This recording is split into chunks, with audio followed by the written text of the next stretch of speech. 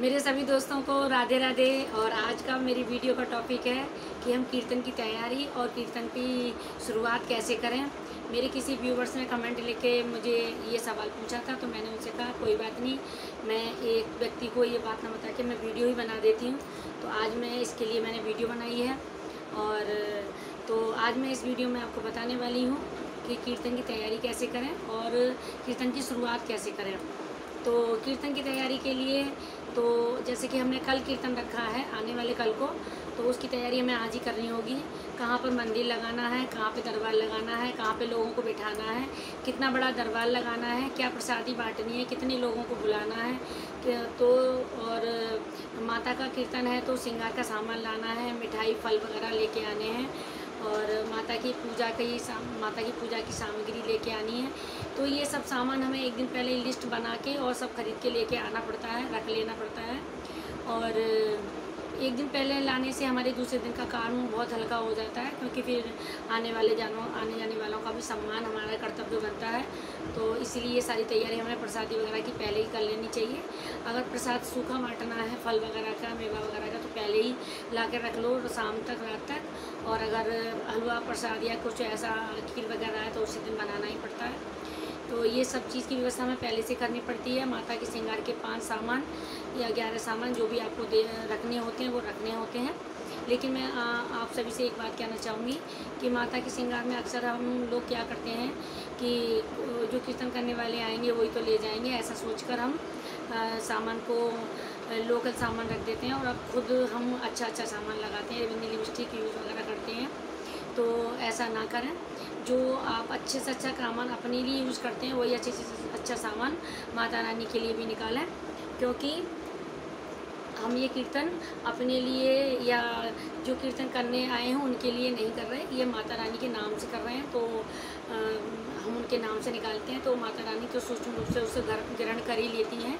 तो इसीलिए इस बात का विशेष ध्यान रखें। और माता जी के इस कीर्तन में पूजा सामग्री में, जो पूजा की सामग्री होती है, मैं आपको बता रही हूँ। मैंने लिख के रखी हुई है। अगर आप लिखना चाहें तो लिख सकते हैं। अभी सुन लें, बाद में वीडियो दोबारा देखकर फिर अपने इस सामान को नोट कर लें, अगर आपको ज़रूरत है तो। तो माता जी के पूजा की सामग्री है, माता रानी की चुन्नी प्रसाद, लौंग, सुपारी, पान, मिश्री, इलायची, फूल, नारियल, मालाएँ और गंगाजल कलावा, घी, चावल, रोली, दीपक, रुई, धूपबत्ती आदि।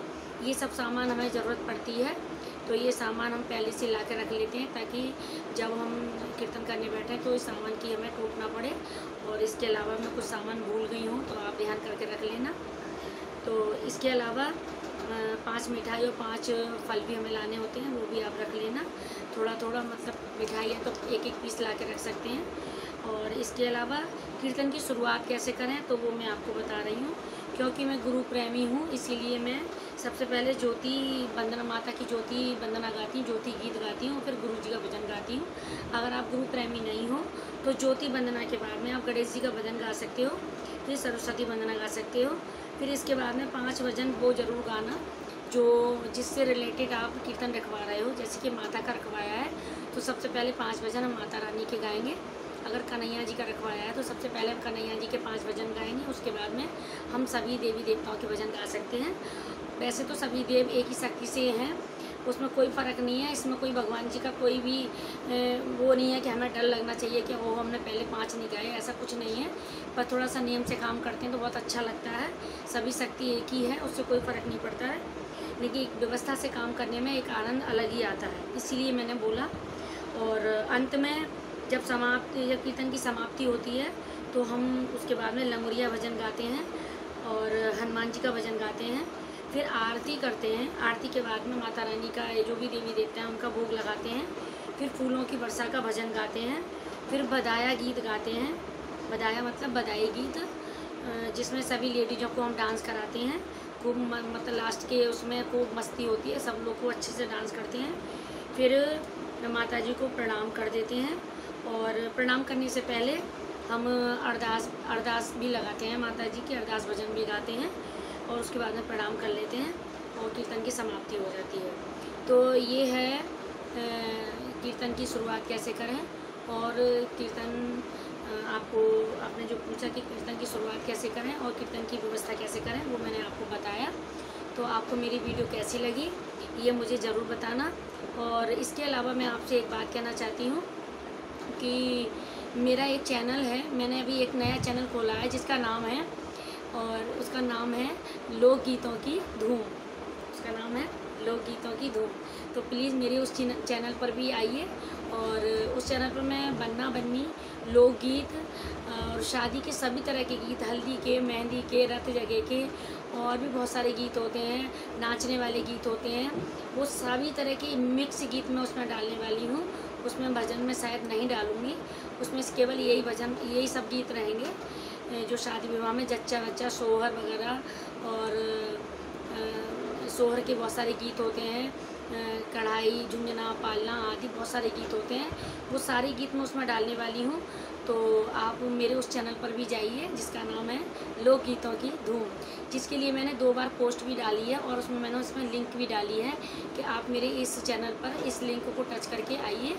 और तो आप उसे रिक्वेस्ट है कि प्लीज़ जिस तरह से आपने इस चैनल को इतना प्रेम दिया, उस चैनल पर भी जाइए और आपके परिवार में किसी के यहाँ शादी वगैरह, रिश्तेदारी में वगैरह, कहीं शादी वगैरह हो तो मेरी इस वीडियो को, उस चैनल की वीडियो को ज़रूर शेयर करना, उसकी लिंक को शेयर करना और मेरे इस चैनल को बढ़ाने में मेरा योगदान देना और मेरे चैनल को जल्दी से जल्दी सब्सक्राइब करके मुझे हज़ार सब्सक्राइबर देने की मेरी सहायता करना। तो बस इतना ही कहूँगी और मुझे इंतज़ार रहेगा कि आप मेरे नए चैनल पर बहुत जल्दी आने वाले हो और मैं सभी का इंतज़ार कर रही हूँ।